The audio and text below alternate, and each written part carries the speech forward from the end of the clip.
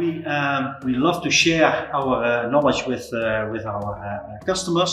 What, what is this years ahead? I like this logo. What's the thought process behind Ah, that that is in fact well we uh, maybe you don't see that well enough in the video, but we are in a very nice castle. Yes. So these are the these are the um, um, areas of the of the castle. Uh, You would not believe this tech company is actually in the middle of the full farm. I, I can see the cows and the sheep and, and, and, the, and the cattle there. This video is brought to you by us, SCM Dojo. We provide awesome courses, guides, best practices for supply chain community. Hi folks, uh, welcome to one more episode of the Supply Chain Show. Again, I'm uh, the tour of Netherlands. I'm in the Helmond right now, which is one of the beautiful cities. I'm, going to show you some pictures. So today we're going to talk about something very interesting, which is demand forecasting as a service. As you know, SCM Dojo has recently launched Supply Chain Expert Marketplace, and this is one of my vision to find one of the best expert on our platform so we can promote their services. So today we're going to talk about what the supply chain service, basically demand forecasting as a service, uh, what is the benefit, how the businesses can hire, and who else, uh, as, you know, the person uh, can talk to except Loek. So Loek is the CEO and the, one of the founders for EyeOn. So without any further ado, Loek, welcome to the show. thank you, Muddassir. Right. So quickly tell, tell, talk about what EyeOn does. You know, it's, it's fantastic facility you've got. Just tell us what you do. Obviously, I can tell a lot of things. Uh, let's uh, let's focus on the main things. We were founded uh, 25 years uh, ago. Right. Um, one of the I was one of the founders. Uh, we focused completely on planning and forecasting from that moment onwards. But we obviously also changed that uh, the last 10 years with uh, data science, uh, artificial intelligence, machine learning, integrate that into uh, planning and forecasting.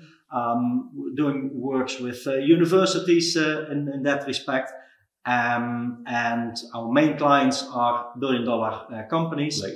Um, in the industries like uh, uh, high tech, in the industries like uh, pharmaceuticals, medical device, process industry, and, and consumer products. So all of these uh, these kind of industries. Good. So if I break down your main, let's call it product and services. So you have business consulting, right? You have again supply chain forecast, uh, supply chain planning or inventory service. Second, you also have a software of your own, Yes. right? Which is the EyeOn Pro- Promo, Yes. right? And EyeOn Stock where we can run their forecasting. It's like a software service. You have master classes. You tell us about that. Masterclasses, yeah, we um, we love to share our uh, knowledge with uh, with our uh, uh, customers and share it with uh, companies that uh, would like to make a, a step up. Yeah. We have uh, masterclasses on on demand uh, planning, Yeah. supply, on uh, uh, on inventory, Right. also more on the analytics uh, Right. area, and we have the different kind of forms. We can um, uh, we can be at your uh, um, at your company, Yeah. having a really dedicated uh, masterclass, also having uh, um, having a more general masterclass where we group people uh, and companies uh, uh, together, Yeah. and also having that cross learning. Fantastic. And the fifth pillar, though, which I'm super interested in, we do a separate video, which is uh, supply chain gaming. Because what I saw today in the presentation, they've got fantastic games of S&OP and planning. And there's one more, which was a ball or something. So remember There's the one more game, right? Which was, which was that? Anyway, we'll do a separate video. Exactly that. would be very good to have a separate video. Also because we're extending that scope to online uh, Online uh, gaming. online gaming, and would be great to have there the expert uh, telling the complete So story. that's not the topic of today's video. The topic of today's video is, is demand for stack forecasting as a service. So explain what this service is, how does it work? Start from there. Yeah, we see uh, in the uh, uh, a lot of um, uh, requests from our customers that they would like to have a more robust uh, uh, process. Usually, uh, planning processes are monthly processes, and you only need uh, the, the people working on that process three, four, five days a month. Yeah. So that means what do you do with the rest of the time? Uh, how, how can you keep those people uh, happy the full month? Do you have the, the, the right skill set? So all these aspects um, we, we started something like 10 years ago with our initial uh, services. What we, what we uh, do is we uh, get the data from our uh, customers in a very secure uh, way, um, and we will handle them uh, um, in, in such a way that the best forecast there is, based on the statistics, comes out, and we implement that uh, uh, in their planning systems. So we, we are not the planning system itself. We Right. only have the, the service to optimize the models and uh, optimize the parameters. And because there's a lot of volatility in the market, Yeah. that's uh, really important to have that in the monthly uh, process. Right. So, so basically, in simply put, you're gonna, if I am a head of supply chain somewhere, we sign a contract, we share your data, you have enormous experience, and you're aware of a lot of disruptions happening. You apply your conservative approach. You find the best model. You run the best model. You give them a data with the recommendations as well. Absolutely. Great. Okay. Okay. Now, having said that, sounds great to me. It should happen, and most companies should do it. Now, if I'm a, a head of supply chain somewhere, big company, generally they have, you know, every plant have a demand plan or they have a central S&OP team, the one forecasting team, they use some kind of software, which they pay a ridiculous amount of money, like 100,000 to 200,000 euros. And they got four people in, for example, EMEA region doing the one forecasting, right? Why would I hire you? Well, that is a good question, and obviously there is a, a is a trade uh, trade off. We have really the the, the, the, the best um, uh, experts in in house in, in our house, and we can also provide them a, a growth uh, plan at at uh, our company at, uh, at EyeOn. When you have a small team, then you also have the, the risk people uh, moving ahead, and you lose a lot of expertise. Mm-hmm. Well, we built in that expertise and robustness in our uh, process. Mm-hmm. So we have here the experts and doing doing these things uh, for you. We have also a robust system, and we have the business uh, expertise. Mhm. And so changing in the market, we have also those uh, that experience. Mm-hmm. Um, yeah, so that tho- those are the main reasons to uh, to hire. Yeah, but there's another business case, right, which I think you are more so, which is if I don't have these capabilities, but my business is growing, right? And that means rather than going building this capability, we just come to you, right? Absolutely. What what it is in that, that business case, uh, obviously, when you have an improved uh, forecast accuracy, usually uh, um, that's 10 to 15 percent higher that we can achieve in that uh, robust process together with uh, the customer, Yeah. and uh, we can achieve that. So that's one part. The other uh, part is that um, our processes are then efficient. So basically, you can take decisions earlier. Right. And if you take an earlier decision, it's also bringing more money for uh, for our customers. And bring all the, as you mentioned, that your forecasting processes can become because of expertise, 10 to 15 percent better forecast accuracy, which results to better service levels, you know, less cost, uh, less inventory, uh, stock outs, and so on and so forth. All the benefit which comes with a good forecast. Absolutely. All right, great. Okay, now I know how you do the service. Let's then we talk about the the. I think you mentioned the data part, which is very important. Uh, quality is clear, which is the measure. So I'm clear on that. Now, how you deliver this? How I'm, how I'm going to work with you on this? Exactly, because a large part is based on uh, on, on trust. So how, how do we build our trust? We um, we uh, start with build, operate, and transfer. So. Uh, we build it uh, based on a, on a business case and we do a proof of concept. So one uh, and proof of concept is that it works from technical point of view, Right. but also it proves that we can achieve higher forecast accuracy uh, based on the data that is available. Right. So that's that's the build part. Then we operate it um, um, into our uh, customers as as a project, Yeah. and that will take well, approximately 10, 10 weeks, and then we run it. Uh, um, Is there any pre-assessment in there somewhere? and there's a pre-assessment, Right. And that pre-assessment really gives the uh, foundation for the for the business case, Right. uh, where you where we prove that it will bring value to uh, to our customers. The customers. Okay. So we discussed the quality and the and and you can do this globally, right? We can do this, glo- and we have done this. Uh, uh, I can a few, name a few examples Yeah. without naming the, uh, uh, the, the names of our customers. uh, a global pharmaceutical company where they uh, they had planning in all the countries. Uh, Right. Where we made that more efficient from a central uh, centralized point of view, from a statistical point of view, Yeah. and then um, yeah they they could uh, reduce the number of people in all of the uh, specific countries, making the, the team centrally a bit uh, bigger and have there the business uh, uh, included into that process. So there we made a step up in the forecast accuracy, but also reduce some uh, uh, cost uh, uh, for that company. they, or they can use the people somewhere else to do something. And use that for more qualitative work. More so, and that was also a growth path for tho- those kind of Right. people. No, and I think uh, you are not just Dutch, but you're a global company, right? Just tell about, about that a bit. Absolutely. So um, uh, we were originated uh, in, in the Netherlands, but um, I personally, I, uh, I worked for, for Philips.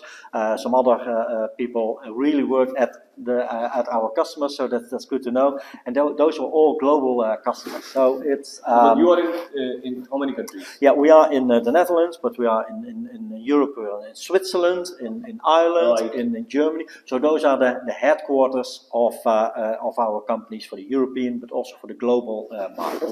And uh, in, in 22, we also started uh, uh, locally in, in, the US. So we have a team, in the US. growing a team in the US, yeah. and we're trying to make a further step. So you are growing, right? So okay, now that's why we're doing it, so we can promote your your work in Middle East and Africa. So that's that sounds that sounds great. Now we're moving the conversation again. So uh, we go in, we find we like your planning as a service, right? And with your expertise, that sounds all good data transfer is clear to me as well. But one of the things which I would like to say, okay, since you're consultant, you know, I mean, how the costing look like, you know, how you model that costing.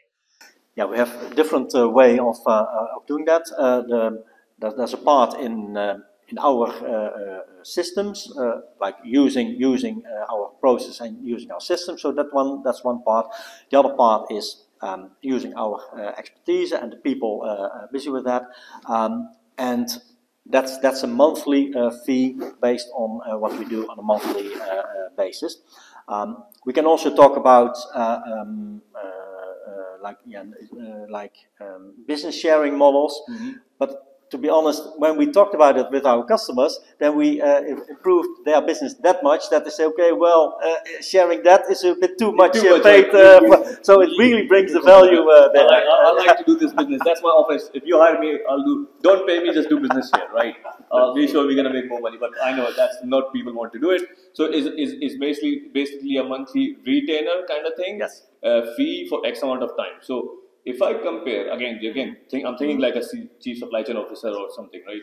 So if I compare having a four or five demand planners or S&OP people or planning mm-hmm. people and versus your capabilities, uh, how you say it's on par, lower? I mean, just from uh, your yeah, it, it, it will be uh, uh, depends a bit on where they are located. Right. But uh, but if they are located in, in Europe, in, in, Europe, then then it's really uh, on, on par. Then on then, par. then then it's on par.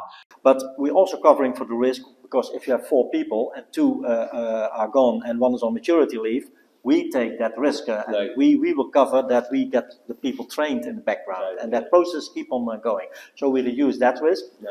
We also say that uh, our uh, team will improve forecast accuracy right. and reduce inventory. Right. So because we're now talking about forecasting, but right. we do the similar process yeah. for inventory optimization, so inventory parameters uh, as well. Yeah. As well and also for network design and network optimization. Okay. okay. So okay. that is really great. So um, so that business case is there, and we reduce the risk, and we improve the performance of our so, so, customers. So in the demand forecasting as a service, inventory optimization comes in the package kind of thing.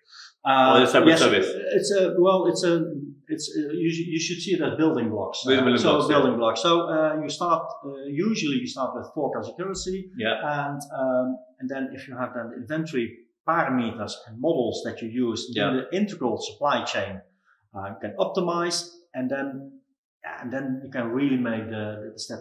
And it's not only about reducing inventory, but it's also optimizing inventory. So it could be that the total inventory level is the same. Yeah.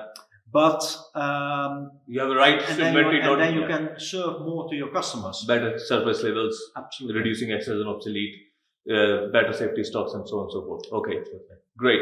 Now the the the other point would be is okay. So I've got it. I understand what you do but I've been a demand planner myself. Mm-hmm. Uh, I have been a supply chain leader, supply chain manager into a multi, you know, multi-plan organization. One of the pl- issue with the demand planning folks are, or demand forecasting is, you got to understand business of it. That's right. It's not just about data.